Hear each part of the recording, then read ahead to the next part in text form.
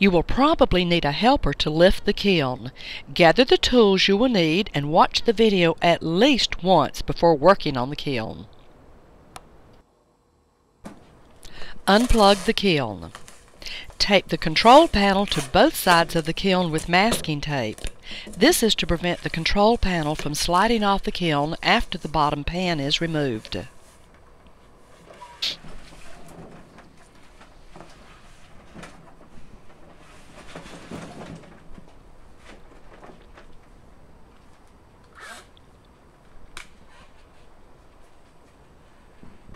Remove the screws holding the back panel to the kiln.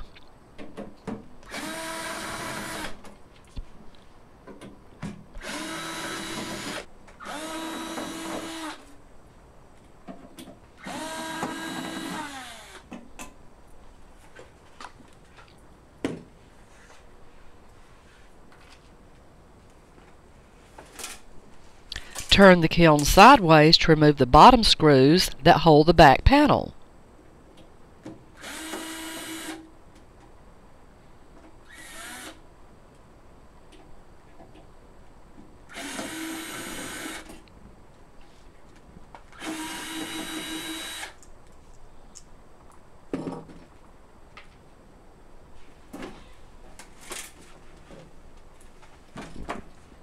Lift the back panel from the kiln.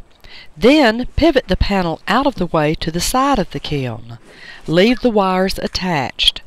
Try not to place any strain on the wires. Loosen the top two screws that hold the muffle to the steel base. Use a quarter inch nut driver or power drill with a one quarter inch nut driver bit. Then reach into the space between the outer and inner steel case and remove the screws. Temporarily place the back panel that you removed earlier against the back of the kiln. Then place the kiln face down onto a folded towel which cushions the doorknob and toggle switch. Swing the back panel to the side of the kiln again. The bottom of the kiln should face you now. Remove the screws holding the bottom pan.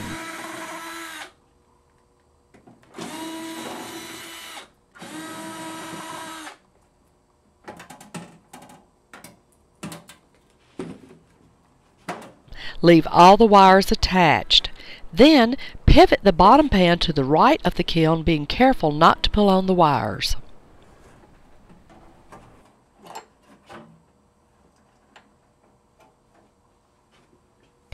After you remove the bottom pan, you will see screws that hold the bottom of the muffle to the kiln case. Remove the screws with a quarter inch nut driver or with a power drill with one quarter inch nut driver bit. As you loosen the screws, reach into the holes in the case to catch the screws. Do not let anything touch the back of the controller.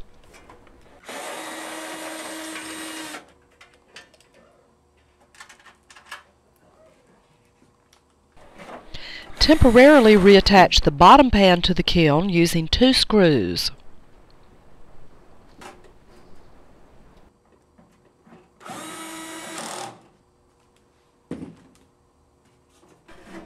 Place the back panel onto the kiln.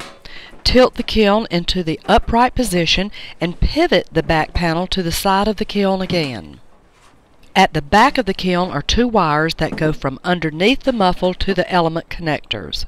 Hold the element connectors with vice grip pliers and disconnect the wires from the connectors using a quarter inch nut driver. Leave the element connectors attached to the old muffle.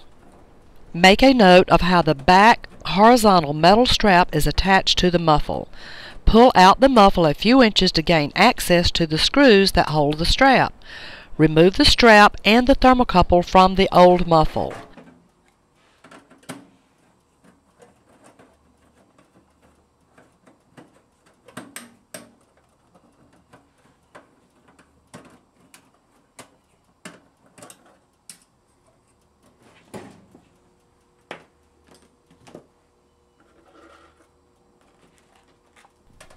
If your kiln has the sheathed thermocouple, you will find an oval thermocouple block in the back of the kiln.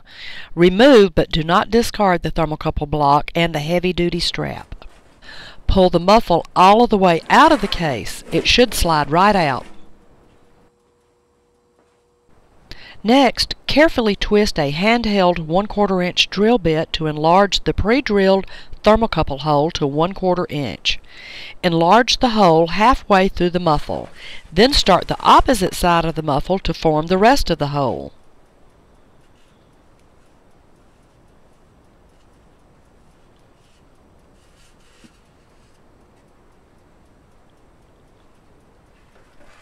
Next, install a new element connector onto each element on the back of the muffle if the element connectors are not already installed.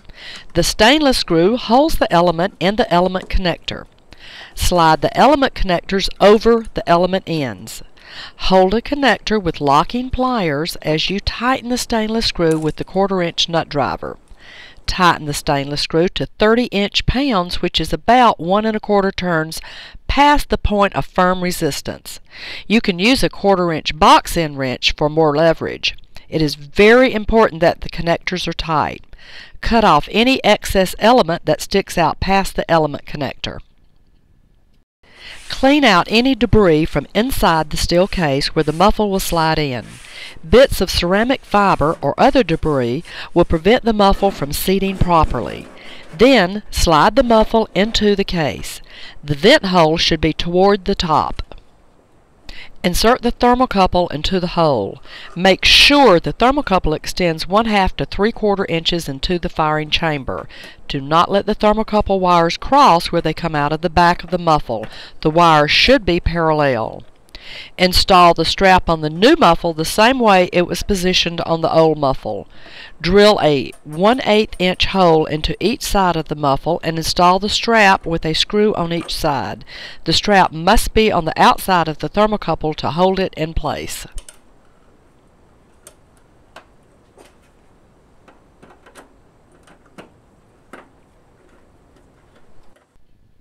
If your kiln has the sheathed thermocouple with a heavy-duty strap, reinstall the thermocouple and strap the same way they were installed on the old muffle. Your new muffle was shipped with a wiring diagram.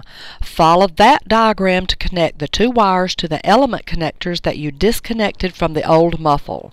Hold each element connector with locking pliers such as Vise-Grips brand and tighten the brass screws securely with a 1 4 inch nut driver.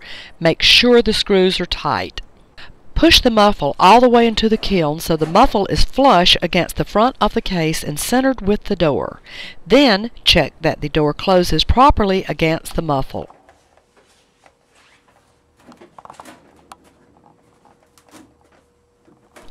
Hold the bottom of the muffle in position while you mark where the bottom left and right corners of the muffle touch the back of the case.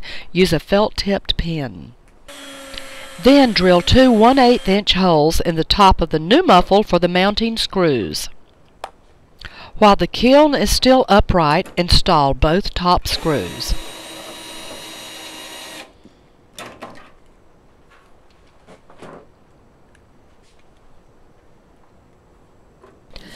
Make sure the front of the muffle is still flush against the steel case. Close the kiln door. Lay the kiln face down again on the folded towel, being careful not to damage the toggle switch and doorknob. Pivot the back panel to the side of the kiln again. Remove the two screws that hold the bottom pan.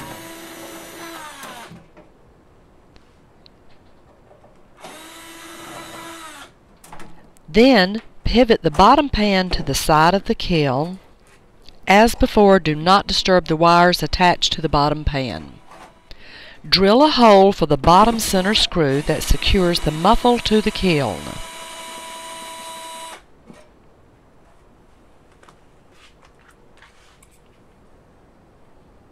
Install the screw.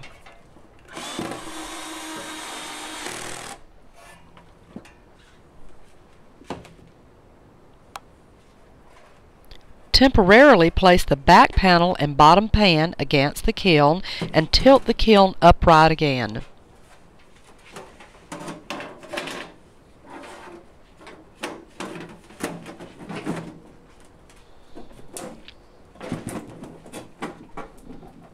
Check that the bottom front of the muffle is still flush against the steel kiln case.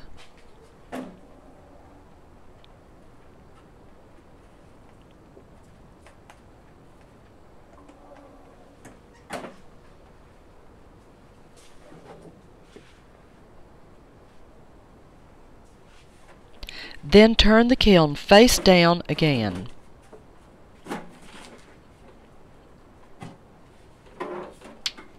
Pivot the back panel and bottom pan onto each side of the kiln.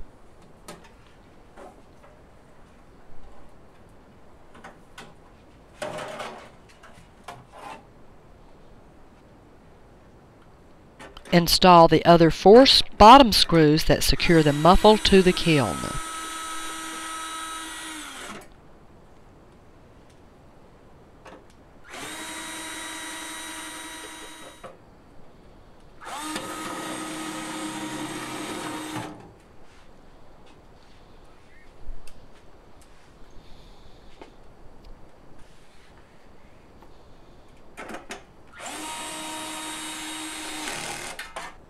Check to make sure all of the wires are still tightly connected to the electrical parts in the bottom pan.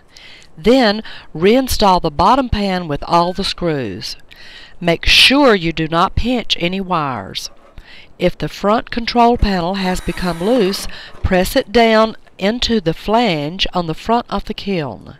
Then reattach the front control panel with the screws in the bottom pan.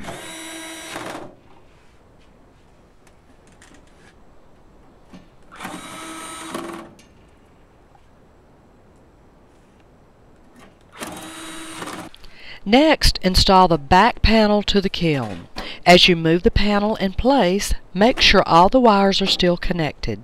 It is important that no wires touch the element connectors because the connectors get hot enough to burn the wires. Keep the red and yellow thermocouple wires away from the other wires in the kiln. Place the back panel against the kiln and install the screws.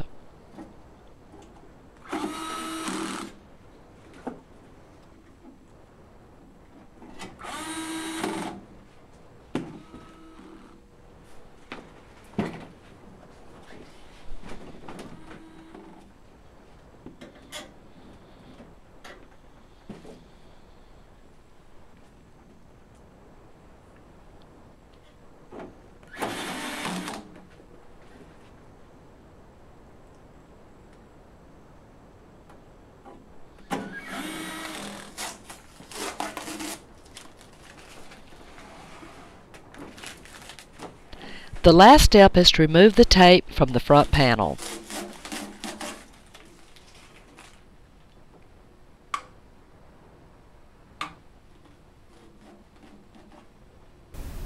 For more information, visit our website at www.paragonweb.com or call us on our toll-free number, 800-876-4328. We look forward to hearing from you.